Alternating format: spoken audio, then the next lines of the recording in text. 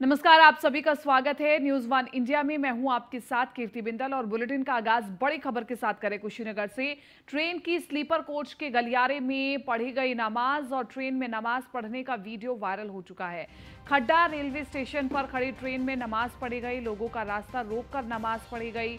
Video में चादर बिछाकर नमाज़ पढ़ी जा रही है। कई लोगों का एक साथ नमाज़ पढ़ने का वीडियो वायरल हो रहा है। तो बड़ी खबर हम आपको बता रहे हैं।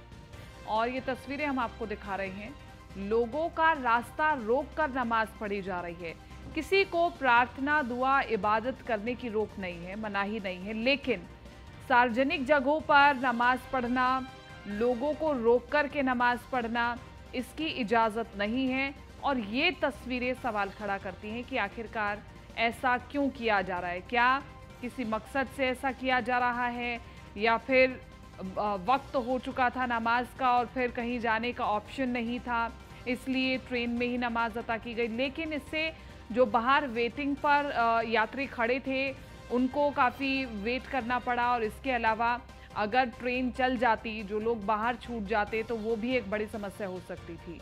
हालाँकि ट्रेन रुकी हुई थी, रुकी हुई ट्रेन में, क्योंकि पैसेंजर्स अंदर जाते हैं अपनी अपनी सीट को लेते हैं, लेकिन वो अंदर जाए कैसे? नमाज़ पढ़ रहे हैं चादर बिछा करके नमाजी और इसी के साथ साथ लोगों को रोक करके नमाज़ पढ़ी जा रही है। तो इसलिए कई गंभीर सवाल खड़े हो रहे हैं कि आखिरकार ये किस मकसद से ऐसा किया जा रहा है? ट्रेन में नमाज़ पढ़ने का वीडियो वायरल हो रहा है।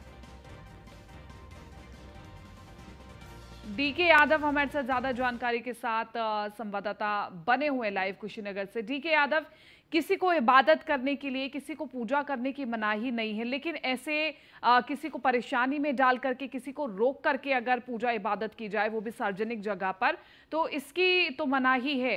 आखिरकार किस मकसद से किया जा रहा था? ये कुशीनगर जनपद के खड्डा रेलवे स्टेशन पे बावन तिहत्तर जो सत्याग्रह एक्सप्रेस है रक्सौल से चल के और दिल्ली जाती है उसमें कल की बात बताई जा रही है जहाँ पे ट्रेन जैसे रेलवे स्टेशन पे खड़ी होती है हम्म। उसके बाद जो है कि आप देखे होंगे किस तरह जिस तरह से वीडियो वायरल वीडियो में दिखाया जा रहा है उसमें लगभग कई आधा दर्जन की संख्या में मुस्लिम लोग हैं वो बिल्कुल ट्रेन के जो गलियारे हैं स्लीपर कोच के उसके बीच में खड़े बैठ जाते हैं और जिस तरह से वीडियो में दिखाई दे रहा है एक के बाद एक जो है कि वो नमाज़ अदा कर रहा है हालाँकि हम्म। नमाज़ अदा करना या किसी भी धार्मिक जो है कि आस्था पे ठेस पहुँचाने की बात तो अलग है, किसी के ऊपर जो है कि सवाल खड़ा नहीं करना चाहिए।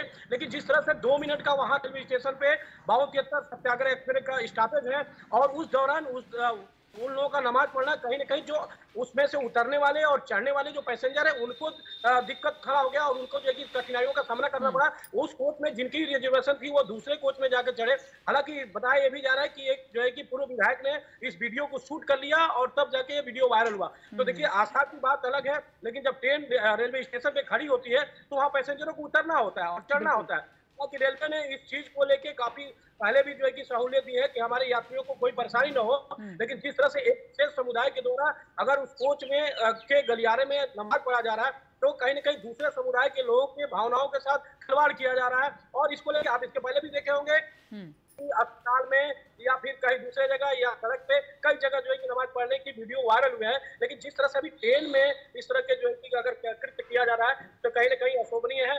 अगर आपकी हम्म। आस्था है तो आप इस जगह पे जाके अपने जो है कि नमाज़ पढ़े या पूजा करें लेकिन के लेकिन इस बीच डी के बड़ा सवाल ये उठ रहा है कि ये जो नमाजी पढ़ रहे थे क्या इन्हें किसी ने रोका नहीं? या फिर रेल प्रशासन की ओर से इन पर नज़र नहीं रखी गई कि आखिरकार ऐसा क्यों हुआ हो रहा है? इन्हें क्यों अलग से कोई कमरा नहीं दिया जा रहा? जी देखिए ट्रेन की बात करें तो ट्रेन में इस तरह के जो है कि भारतीय रेल के द्वारा इस तरह की कोई व्यवस्थाएँ नहीं होती हैं हम्म। कि अगर कोई व्यक्ति वहाँ बैठ के पूजा करे या कोई व्यक्ति वहाँ बैठ के नमाज़ पढ़े वहाँ यात्रियों सुविधा के लिए यात्रियों को जो है कि आवागमन करने के लिए होती है कि अपने एक स्थान से दूसरे स्थान तक गंतव्य के लिए बनाया जाता है हम्म। न कि वहाँ जो है धर्म विशेष स्थापना करके और वहाँ पूजा करने की बात कर ली जाए या फिर नमाज़ करने की बात कर ली जाए हम्म। तो यहाँ नमाज़ पढ़ा जा रहा है तो कहीं ना कहीं एक विशेष समुदाय के द्वारा तो ये बिल्कुल गलत है और इस तरह के जो है कि आप देखे होंगे इसके पहले भी जिस तरह से मैंने अभी पहले बताया कि हम्म।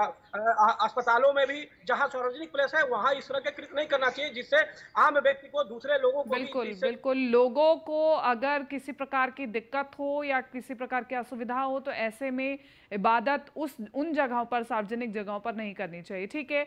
बहुत बहुत शुक्रिया डी के यादव, तमाम इस जानकारी के लिए और बातचीत